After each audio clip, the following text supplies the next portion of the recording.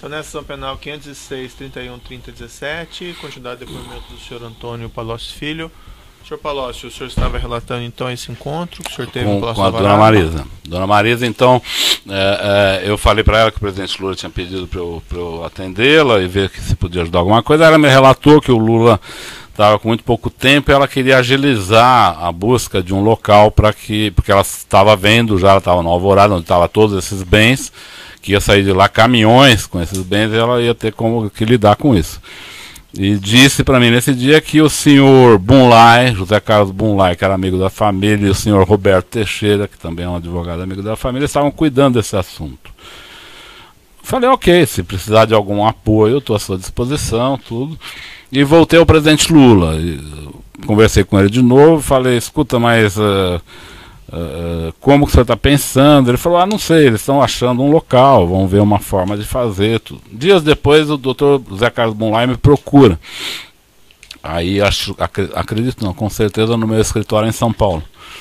E ele fala, me conta a história, a mesma história, que ele estava junto com Roberto Teixeira buscando um local para instalar o futuro Instituto Lula, que, tinha, que estava entre dois locais, uma concessionária e esse prédio que o senhor citou. Não é um terreno, muita gente fala terreno, não é terreno, é, um, prédio. Sim, um prédio. É um imóvel, é um prédio. Estava entre esse, essa concessionária e esse prédio. E que ele iria cuidar disso, que, e que ele me pediu apoio junto ao Marcelo Debrecht para que o Marcelo ajudasse a pagar esse prédio. Eu fiz uma série de perguntas para ele na, na, época. Eu falei: olha, o presidente Lula tinha pedido para eu acompanhar tudo, mas eu não estou entendendo o que vocês estão fazendo, porque o instituto não vai ser feito para poder receber doações de empresas e por aí a gente, vamos dizer, pintar de cores melhores doações listas e eventualmente até ilícitas, confesso. Não é para isso que nós estamos fazendo esse instituto, então por que vamos inaugurá-lo já com uma, uma, ilegalidade desse tamanho, com uma fratura exposta desse tamanho? Vocês vão comprar agora, em nome de vocês? Ele falou, não, não tem problema, porque meu sobrinho, chama Glauco Costa Marques, ele está cuidando de imóveis para mim, ele está nesse momento acertando um imóvel do presidente, que é vizinho da, do apartamento do presidente em São Bernardo, então ele vai fazer a aquisição desse outro imóvel, depois a gente vê como faz com o Instituto. Então. Eu voltei ao presidente Lula, eu ouvi, eu não quis desrespeitar a iniciativa do Dr. Bunlai, que é uma pessoa que eu tenho Essa conversa você teve com o Bunlai e com mais quem? Essa... Só, só eu só e o Bunlai. Só tá. eu e o Bunlai. Aí eu voltei ao presidente Lula e falei, presidente, do, do, que se trata esse apartamento? Eu não, nunca tinha ouvido falar dele. Aí ele me explicou que era um apartamento que a segurança do presidente tinha alugado, que era vizinho do apartamento dele, a segurança tinha alugado por motivos de segurança presidencial, e que ele gostou do, do daquele apartamento, que ali ele era um andar com dois apartamentos, para ele, que ele tem cinco filhos, para ele ficaria melhor, ele estava pensando em comprar esse apartamento. Essa informação que ele me deu apenas. Aí eu voltei a falar com ele sobre o o, prédio do Instituto, eu falei da minha conversa com o Mulai e falei, olha, eu estou preocupado, eu não gostaria de fazer desse jeito. Acho que o senhor está fazendo um instituto para receber doações e fazer sua atividade. Uh, não sei por que procurar agora um terreno, e, porque não esperar receber, não tem, não tem problema nenhum receber uma doação da Odebrecht, mas que seja formal, né? ou pelo menos que ela seja revestida de formalidade. Né? O nosso, eu até falei, comentei com ele nesse dia, nosso ilícito com o Aldebrecht já está monstruoso. Se nós fizermos esse tipo de operação, nós vamos criar uma fratura exposta desnecessária. Ele, ah, vamos ver, tal, a coisa. Aí o Marcelo Aldebrecht me procura dias depois. Não teve conclusão minha conversa com o presidente. Aí me procura o Marcelo Aldebrecht. Marcelo Aldebrecht me procurou um pouco preocupado também. Ele falou, olha, tá Está em curso essa compra. Eu estou achando estranho. Eu tinha falado já uma vez para o Marcelo que ia ter o um instituto, que ele deveria ser um doador. Eu já tinha tido essa conversa com ele, mas pensando em 2011, 12. Né? Uhum. Ele concordou, ele disse que tinha feito doação para o Instituto Fernando Henrique, que faria também para o Lula. Uma coisa normal, uma conversa normal. E uh, aí o Marcelo veio com uma certa preocupação. Ele falou: Olha, já estou fazendo, tentando fazer aquela contribuição, mas tem uma, o doutor Roberto e o doutor Bunlai já estão adquirindo o prédio, pediram para que eu fizesse o pagamento. Ah, eu queria ver com você, o que você acha. Não, não tinha conversa dessa planilha ainda, você entendeu? Uhum. Foi uma conversa mais do que eu achava. Essa planilha vai aparecer um ano, uns meses depois, na verdade. Uhum. Aí eu voltei ao presidente Lula e falei, olha, está acontecendo isso, isso. É, mas a Marisa quer assim, não sei o que, ver o que, que você pode fazer. Eu o Marcelo voltou a falar comigo, foram várias reuniões isso. Né? O Marcelo voltou a falar comigo, eu falei, Marcelo, olha, eu, se eu fosse você, eu doava para o Instituto esse dinheiro e deixasse o Instituto comprar. Eu acho que você não deve fazer diferente. Ele falou que tinha tentado fazer isso e que o Paulo Camoto, presidente do que viria a ser presidente do Instituto, disse que o Instituto não estava pronto para receber a doação. Hum. Eu falei, se ele não está pronto para receber a doação, não está pronto para receber um terreno também. Ele falou, é, o terreno não vai ser entregue ao Instituto agora. Eu falei, então não compre, porque nós vamos criar um problema. Dizer, uh, ele falou, é, mas é, há muita pressão para que seja comprado do meu pai, ele falou do pai dele. Uhum. Eu só fui entender depois porque havia pressão, porque o pai dele queria levar o pacote do pacto do final do ano para o presidente Lula, então ele tinha que ter esse terreno. Tinha que ter o terreno, tinha que ter o sítio, tinha que ter os recursos. Eu não, na época eu não estava entendendo a pressa. Aí eu sugeri ao Marcelo, então faça o seguinte, compre o terreno, ou o prédio, e quando o instituto for instalado, você doa o prédio. Não é legal doar um prédio. Ou pelo menos fica mais com uma aparência mais legal. Desculpa, doutor, eu não estava eu não tava de santo na história, não. Eu só estava querendo. Assim, o nosso ilícito com o Odebrecht já estava muito grande naquele momento. Sei. Eu achei que essa compra não precisava ser um ilícito. Ou pelo uhum. menos não precisava ser travestido, de, sendo, ser um ilícito travestido de ilícito. Certo. Então eu estava preocupado que ele fizesse um pouco melhor. Eu falei, Marcelo, compre a sede então e depois você doa a sede. É meio estranho você doar um prédio, mas é melhor doar um prédio do que fazer essa operação Tabajara que está se organizando aqui. Ele falou: não quero aparecer nessa compra. Não quero aparecer, não estou gostando. Eu falei: então não pague. Eu sei que a conversa não terminou bem, não chegamos a muita conclusão. E soube depois. Eu querendo solucionar o problema, o presidente me cobrando que solucionasse, não tinha, o, o prédio já estava em processo de compra. Eu fui cuidar da campanha, não mais vi o andamento disso. Pedi para que o Brani, por isso que tem alguns e-mails para o Brani, como eu me, me atolei na campanha eleitoral nesse momento, pedi para que o Brani olhasse, recebesse os e-mails, me passasse quando tivesse alguma coisa, e quando comecei a acompanhar de longe isso. Não consegui comprar o imóvel do jeito que eu queria. Uhum. Desisti da minha Sei. tentativa. Mas o Odebrecht comprou, o Odebrecht daí, então. comprou, comprou. Mas e o senhor ficou sabendo? Fiquei sabendo. Isso lhe foi informado por quem? Ah, por todos eles. Todos eles. Quando começou o ano 2011, todo mundo tinha sabido que o Odebrecht comprou um prédio. Eu, fiquei, eu ficava perguntando para ele, e aí, agora? Uhum. Como é que vocês vão fazer? Ah, eu perguntei para o Bunlai, como é que vai fazer agora?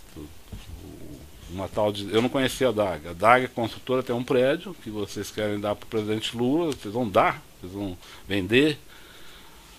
E ninguém tinha resposta para isso. Eu falei, acho que vocês fizeram uma atrapalhada, entendeu? Isso foi assim até um dia que o presidente Lula me chama no Instituto, isso já em final de 11, se não me engano. Ele, ele me chama e fala: O que, que você acha desse prédio? Eu falei: ah, presidente, acho que eu sempre achei. Eu tinha feito um projeto para o Paulo Camoto de fazer um instituto, até tenho esse projeto ali, até foi é. dentro do meu computador uh, apreendido, está esse projeto lá escrito. Eu tinha feito um projeto de financiamento do instituto, com contribuição de empresas, as parceiras do governo. Insisto aqui de novo, doutor, não estou querendo dar de santo. Eu queria ir atrás dos parceiros que o governo Sim. tinha feito, criado vantagens para que eles dessem doação para o Instituto. Eu entendi que era isso, a criação do Instituto era para receber as doações prometidas. Né? Eu falei para o presidente Lula, eu achei que era isso que você ia fazer. Agora, já começou comprando um terreno de uma forma completamente torta, o senhor não tem como pôr para dentro esse terreno. Acho que isso aí vai virar uma confusão, um dia nós vamos acabar num lugar como esse que nós estamos aqui. E, e, e ele falou, é, eu acho que está ruim mesmo, e pediu para que eu fosse na casa dele dois dias depois, numa reunião com ele, a dona Marisa, o doutor Roberto Teixeira, o Bunlai e o Paulo Gamoto. Por que, que ele pediu para que eu fosse? Eu falei, olha, não tenho, eu, eu me distanciei desse assunto, o, prédio está comprado, não posso fazer nada. Ele falou, não, vá lá e me ajude a convencer a Maria, dona Marisa, de que esse prédio é inadequado, a compra foi inadequada, porque se eu fizer isso, ela vai ficar brava comigo, porque ela fala que eu não cuido disso tal. Se você fizer, ela vai entender melhor, porque ela gosta de você, ela te entende tal. Eu fui lá achando que ia ter uma discussão, uma briga com a dona Marisa, mas na verdade tive uma briga com o Dr. Bunlai e o Dr. Roberto Teixeira, que achavam que a compra tinha sido absolutamente normal. E acho aqui, doutor, que do ponto de vista deles, que são homens de negócio, era normal. Então, não estou aqui criticando as pessoas, não. Uhum. Do ponto de vista de negociadores, de pessoas de negócio, comprar, alguém pagar, alguém pôr outro para pagar, tá, isso no mercado ocorre. Mas no conjunto era um ilícito grave aquilo. Né? No conjunto, considerando a pessoa do presidente Lula, o governo, o Debrecht, o Instituto Lula, aquilo era uma fratura exposta, era um convite é. à investigação. Né? E como é que as coisas. Aí a reunião andou mal, foi muito ruim, mas a dona Marisa, se eu quero ser, ser honesto com o senhor, não, não fez nenhuma exigência, ela concordou na hora e achou que devia dispensar esse prédio. Por isso esse prédio foi dispensado. E aí como é que ficou? O Debrecht pagou pelo prédio e daí não ficaram com o prédio e daí como é que que me, aí eu, eu, eu, eu soube depois pelo Marcelo. O Marcelo me falou, ele estranhou que não quiseram. Fui a ele, falei, olha, eu até falei para ele, desculpa, mas eu participei da decisão de não querer esse prédio, porque ele está, vamos dizer, bichado, né, do ponto de vista de, de licitude. Uhum. Né? É, não tem como. Ele falou, ah, então eu vou pôr a OR, a, a, uma parte da Odebrecht imobiliária, para tentar outras alternativas, vou ver um jeito de repor esse dinheiro não é? e vamos ver se a gente arruma outra alternativa. Ele reagiu com naturalidade. Tá? E, né, e foi isso. Nesse processo, embora o senhor tenha feito esse relato, nesse processo tem alguns documentos aqui, eu só gostaria de indagar rapidamente ao senhor sobre eles. Uh, ou antes, o, o senhor Branislav Conti, que o senhor mencionou, era seu espécie Meu secretário? É, ele, na época, assim, na época ele era, trabalhava comigo no Congresso Nacional. Sim. E ele. Qual que era o grau de conhecimento que ele tinha dessa? Aí, doutor, vou ser bastante sincero, assim como não fui econômico em dizer quem fez o que, não vou ser econômico em dizer quem não fez. Uhum. E eu diria que duas pessoas das pessoas acusadas nesse processo não têm nenhuma responsabilidade no que ocorreu. Uma delas é o Branislav. Tudo que tem o nome do Branislav, o senhor pode pôr meu nome em cima, porque era coisa minha. Era coisa que eu pedi para ele receber um e-mail, me passar um e-mail, passar um e-mail para o Marcelo, coisa apenas de transmissão de mensagem, de me alertar sobre uma coisa importante, porque eu estava numa campanha eleitoral, viajando para três estados no mesmo dia. Então eu pus ele de plantão para ver outros problemas que não da campanha, uhum. que ele administrava e me alertava. É só isso que ele fez. Então, no nome, onde está Brani, pode pôr Antônio Palocci, por favor, porque é, corresponde à verdade. E a segunda pessoa que também não cometeu nenhum ilícito nisso foi a dona Marisa. A dona Marisa, acho que merece ser considerada, não por causa, pelo fato dela não estar mais aqui, mas também pelo fato de que ela não fez nada de errado, ela queria apenas buscar uma solução para o problema. Agora, os, nós todos os demais, eu digo nós, eu me incluo, fizemos uma operação bastante. O senhor Branislav não sabia condenável. que esses acertos não, ilícitos não, não. entre nem, ele nem tinha o ideia. e o presidente Lula. Ele nem ou... tinha ideia. Não. Ele não participava de nenhum nível de decisão. Ele não participou, por exemplo, de nenhuma das reuniões minhas com o Marcelo. Ele participava, ele sabia, Marcelo lhe procurou, Marcelo lhe mandou um Marcelo lhe mandou uma planta. Marcelo quer falar com você. Eu deixava, porque eu estava no meio de uma campanha. Quando ele falava, Marcelo tá muito nervoso, precisa falar hoje. Aí eu atendia. Era assim.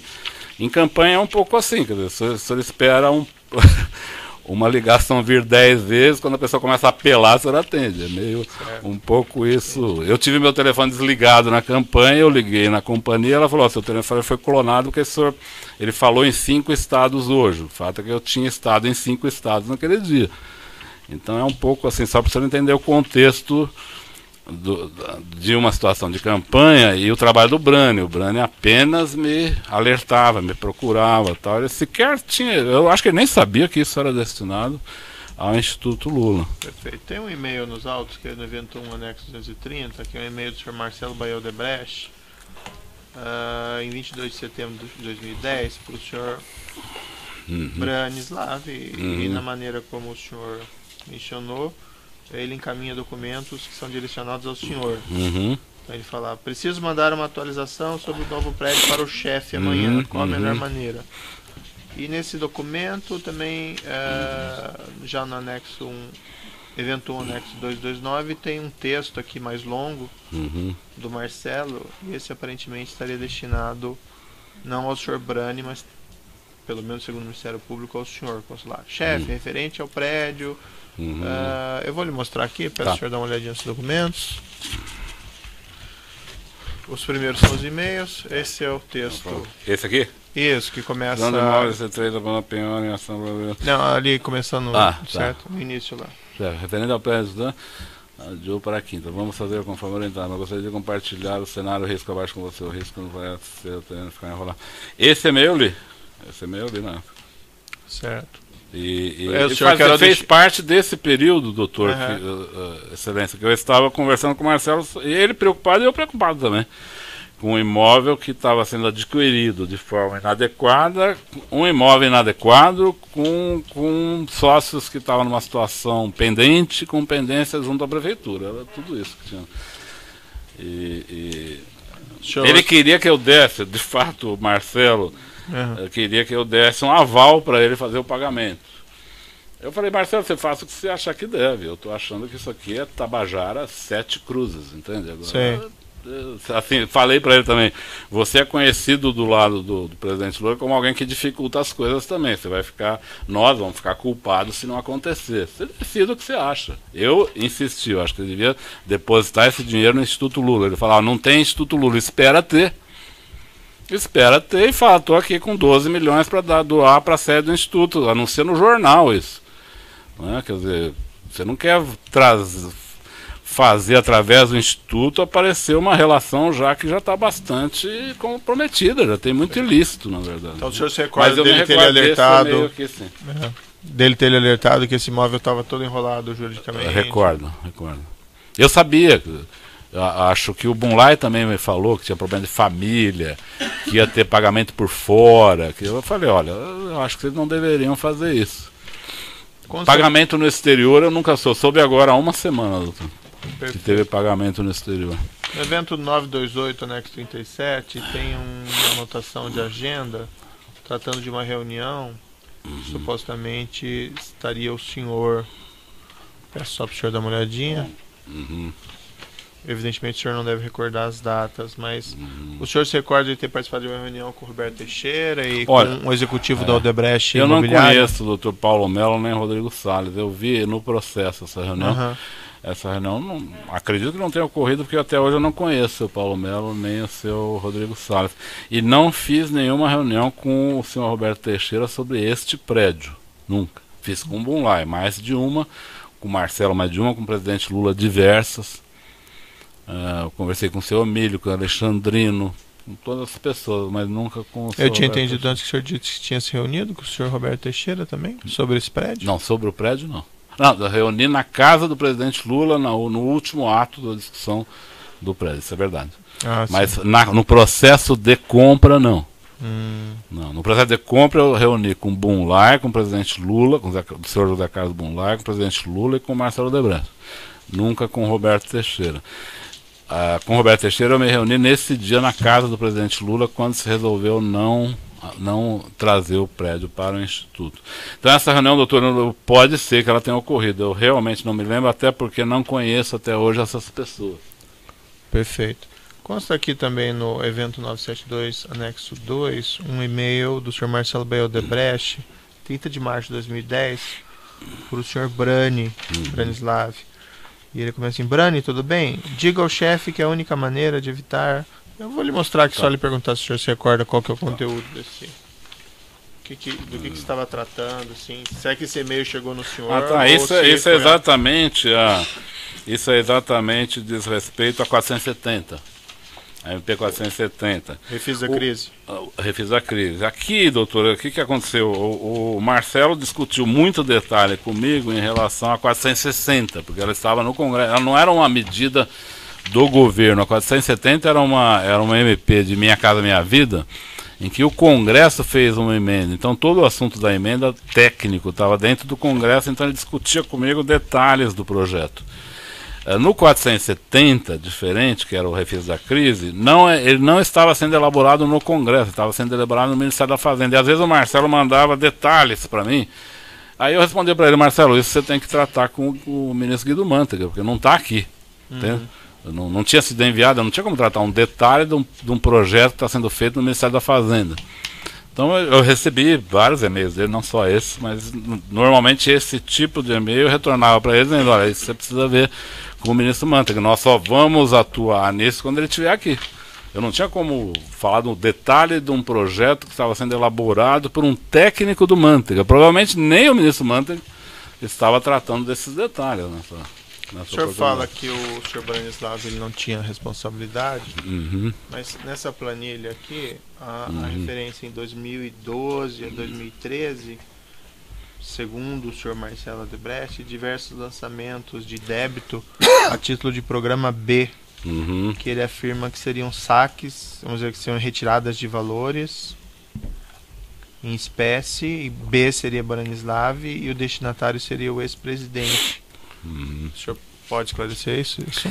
Ah, ah, eu não, não sei se eu posso esclarecer tudo, talvez o Marcelo possa esclarecer mais, eu, eu acho que ele tem conhecimento disso, mas em geral, a retirada, depois de 2011, quando deixei o governo, você vai ver que eu não, o próprio Marcelo falou, e é verdade, eu não tratei mais assuntos de campanha, não voltei a tratar mais de recursos da empresa. É, mas uh, talvez em 12 13 eu volto a tratar de alguns recursos a pedido do presidente Lula. Então tem um episódio que o Marcelo relatou que é verdadeiro. Ele fala num pedido que eu fiz a ele de 4 milhões para o Instituto Lula, você se recorda disso? Sim. É, isso é verdade. O Paulo Camoto me pediu para que eu ajudasse ele a cobrir um final de ano do Instituto que faltava recurso. Acho que foi meio para o final de 2013, começo de 14, ele tinha um buraco nas contas, ele me pediu para arrumar recursos. Eu fui ao Marcelo Debrecht, eu ia viajar exterior, ele que precisava de muito, com muita urgência. A ideia dele é que eu procurasse várias empresas. Eu falei, ó, não posso, eu vou procurar só o Marcelo, vou pedir para ele. Pedi 4 milhões para ele, que era o que o Paulo precisava. O Marcelo ficou de, de dar, ele concordou em dar esse recurso, ele falou que tinha disponibilidade. E eu disse ao Brani para transmitir ao Paulo Camoto que seria dado os 4 milhões que ele tinha sido pedido. Então isso deve estar tá aí. É, deve estar tá aí. Tem um lançamento a título de doação de, 4, de débito de 4 milhões. Isso, em 2014. Isso. Eu acho que fim de 13. É. Talvez ele tenha debitado em 14, mas eu acho que era 13. Mas nessa fase já havia um crédito pré-estabelecido? Doutor, aí eu lhe digo, eh, ele pôs, o Marcelo, eu vi alguns relatos do Marcelo. Uhum. Eu não quero dizer aqui que ele fez nenhuma mentira, mas veja, ele pôs um crédito para o presidente Lula de 35 milhões. Quando o pai dele disse ao Lula que ele tinha 300 milhões. Uhum. Esses recursos todos eram destinados ao PT, ao Lula. Não sei se 35 era o crédito do Lula. Uh, Mas ele, quando fez essas doações, ele uh, afirmou que iria, vamos dizer, deduzir desses créditos, seja de 30, Ele me disse, num determinado momento, que ele ia que ele ia separar créditos ao presidente Lula mais para usos no instituto, coisas assim mais pessoais ao Lula. Uhum. Porque a tal, a tal da reserva que ele falava, ou da conta corrente, que seja era pro Lula, pro PT, não, não tinha uma separação. Isso é pro Lula, isso é, é pro Lula, entende? Então eu não, eu não entendi muito quando eu vi essa, essa parte dessa destinação específica. Agora, pode ser um controle dele. Ele pode dizer, não, pro Instituto eu vou separar aqui. Eu, eu não tenho como eu não, como eu preferia não tratar detalhes com ele, até porque, sou sincero com o senhor, não estou aqui de novo, não estou dando de santo. Uhum. Eu preferia não estabelecer limite, porque a minha conta com ele não tinha limites. Eu não, não ia eu estabelecer uh, parâmetros limitadores. Porque, como assim, o senhor pode esclarecer? A, a, por exemplo, se eu precisasse de 50 milhões para o Instituto Lula, eu tenho certeza que ele daria. Então, para que, que eu ia estabelecer 35 de limites? Uhum. Eles tinham uma relação com o Lula muito aberta, então não me interessava estabelecer limites, destinações específicas. Agora, ele podia fazer isso por conta dele, é um direito dele, o dinheiro era dele. Então, eu não, eu não posso lhe explicar detalhes disso. Agora, posso lhe explicar que eu pedi dinheiro para o Instituto, que muitas vezes mandei o Brani entender com, com o pessoal do Marcelo sobre o Instituto, em, algumas, em algum período, o Paulo Comoto me pediu um dinheiro em cash uh, com uma certa permanência, que também uh, foi buscada na operação estruturada da Odebrecht. Mas aí era enviado o Branislav para fazer. O Branislav que ia tratar o detalhe. Eu não eu imagino que ele pedia para alguém da Odebrecht entregar o Paulo Camoto. Hum. Ouvi pessoas da Odebrecht dizer que o Branislav levou o dinheiro algumas vezes lá. Ele nunca me falou que levou o dinheiro lá. Ele ia lá combinar. Porque, na verdade, o Paulo Camoto tinha uma relação muito, muito tranquila com as pessoas da Odebrecht também. E ele pedia, o Paulo Okamoto pediu várias vezes durante uns 3, 4 anos para que eu arrumasse recursos em cash para o Instituto. Eu até, de novo, perguntava a ele, olha, o Instituto não serve para formalizar doações, só por que, que vamos pôr recursos em cash? Ele fala, não, tem algumas necessidades uhum. mais particulares assim que nós não queremos contabilizar. Eu ajudava dessa maneira. O Ministério Público faz uma afirmação. Uh, eu queria voltar num tema atrás que o senhor falou lá da corrupção na Petrobras, que o senhor afirma que tinha conhecimento. Hum. O Ministério Público faz uma afirmação que na diretoria de serviços o senhor Renato Duque seria, hum. vamos dizer assim, o executivo responsável por esses acertos. O senhor tinha conhecimento disso na época? Olha, senhor bastante claro, com o senhor bastante franco, essas pessoas não foram nomeadas com essa finalidade ou com esse perfil. Eu me lembro até porque eu era do, aí, coincidentemente, eu era do conselho de administração da Petrobras. Certo. Eu nunca não conhecia Renato Duque, não conhecia Jorge Zelado, não conhecia Paulo Roberto. Os conheci por currículo. Entendi. Né? E o currículo deles era de currículos extremamente capacitados para os cargos que eles estavam sendo indicados. Então, eu não acredito que houve uma, um planejamento prévio uhum. com esses diretores acerca de listos. Não acredito. Mas que logo se começou a estabelecer comportamentos de vantagem para empresas e de pagamentos, isso começou a ocorrer logo. Mas e como que isso se desenvolveu? Se é que o senhor pode, se é que o senhor tem conhecimento, como é que o senhor poderia descrever? Olha, isso... o, é preciso ver o seguinte, doutor. a, a Petrobras valia na posse do presidente, do presidente Lula 15 milhões de dólares. Bilhões, né? Bilhões de dólares. Em três anos ela devia estar valendo 300 bilhões de dólares. Por quê? O petróleo cresceu de valor por causa da guerra do Golfo. A Petrobras achou novas reservas e passou a ser incentivada a grandes investimentos. Então ela, ela teve um crescimento extraordinário. Ao fim disso, ela descobre o pré-sal. Então ela, ela, explode. Então, e acho que o pré-sal foi um dos grandes males para o Brasil, porque o Brasil não soube lidar. É, o pré-sal é uma riqueza, mas é preciso saber lidar com a riqueza, senão ela acaba se tornando um problema, e no nosso caso ela acabou se tornando um problema, porque se fez todo tipo de, de iniciativa, de, de processo sem controle, sem estudos adequados, sem é, cálculos adequados e que muitos projetos acabaram não saindo do papel, custaram. Pega, por exemplo, a, a refinaria Premium 1 e a refinaria Premium 2. Cada uma custou 3 bilhões e está no papel. Sim. Né? Então eu acho que isso foi ocorrendo progressivamente na Petrobras. Não foi uma coisa instalada na Petrobras, foi uma coisa que progressivamente foi, foi ocorrendo. Eu lembro, por exemplo, na diretoria internacional, num determinado momento, o PMDB parou de votar com o governo porque exigia a diretoria internacional da Petrobras. Porque já tinha o Cerveró, mas o Cerveró era mais ligado ao Delcídio, não tanto ao PMDB, eles queriam nomear um diretor. Aí indicaram o senhor João Henriques, que o doutor Gabriel não aceitou, disse que não tinha um currículo adequado, e depois eles indicaram o, Jorge Zelada, que o Gabriel aceitou. Mas e se tinha conhecimento que os diretores, apesar de não serem nomeados necessariamente para isso, tinham por função fazer essa arrecadação para os partidos também? Tinha, tinha, tinha. Em cima de contratos da Petrobras? Tinha, sim. O senhor tinha esse conhecimento, né? Eu tinha esse conhecimento. É... Ah, tanto é, doutor, que eu li relatei, em 2007, o presidente Lula senta comigo e, e fala. Eu tenho ouvido falar que a diretoria de serviço, a diretoria internacional, a diretoria de abastecimento está tendo muita corrupção. Isso é verdade? Eu falei para ele, é verdade. Eu sabia. E ele sabia também? Sabia também. E esses valores, inclusive. Ele estava iam... preocupado com isso, mas ah. quando veio o pré-sal e aí vieram investimentos de todo tipo, ele perdeu as preocupações e mais. Ele até chegou a a encomendar que os diretores a partir daí fizessem mais reservas partidárias. Tá, já vou interromper um minutinho pelo tamanho do áudio, nós já voltamos a essa questão.